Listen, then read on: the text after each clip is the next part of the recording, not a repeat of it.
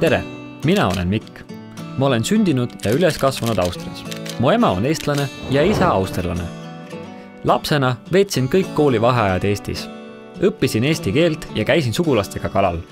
nüüd tegin endale väike laevakapteni paberid ära, nii et võin ka täitsa oma käel kuni kahekümne nelja meetrise alusega ringi seilata kui ma olin Austrias keskkooli lõpetanud, tuli otsus Tartu Ülikooli astuda mulle väga loomulikult. ma õpin siin saksa keelt ja kirjandust. See on minu jaoks hea lahendus. ma saan ühendada endas nii Austria kui ka Eesti poole. Saksa keele ja kirjanduse õppekavas on tore see, et saan valida paljude huvitavate ainete vahel. näiteks meeldib mulle väga kriitiline mõtlemine ja argumenteerimine, kus me õpime oma seisukohta väljendama ja teiste väiteid analüüsima. see on tänapäeval minu arust väga vajalik oskus. Eestisse kolimisel ja õppima asumisel oli suureks abiks rahvuskaaslaste programm, mis määras mulle väikse stipendiumi.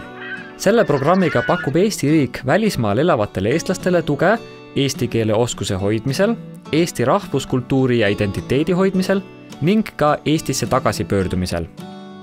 kooli kõrvalt teen ma ka natukene tööd, näiteks annan ma saksa keele eratunde oma õpilastele mõtlen ma ülesanded enamasti ise välja, aga vahel helistan ka emale Austriasse, et temalt küsida, kuidas ta omal ajal saksa keelt õppis. Eestlased on austerlastest ikka väga palju tagasihoidlikumad. Läks ikka aega, et kursusekaaslastega tuttavaks saada. kui aga esimesed sammud on tehtud, suhtutakse väliseestlastesse väga sõbralikult ja kõigile pakub huvi minu päritolu. ema on mind lapsest saati alati viinud Viljandi folgile ja ma ise mängin ka viiulit rahvamuusika ja pärimus on alati olnud suur osa minu identiteedist. enne folki osalesin ühel aastal ka etnolaagris. Seal kohtasin ka oma tüdruksõpra, kes mängib samuti viiulit. ma olen väga õnnelik, et sain võimaluse Eestisse õppima ja elama tulla. kindlasti soovitan seda julgelt ka teistele väliseestlastele.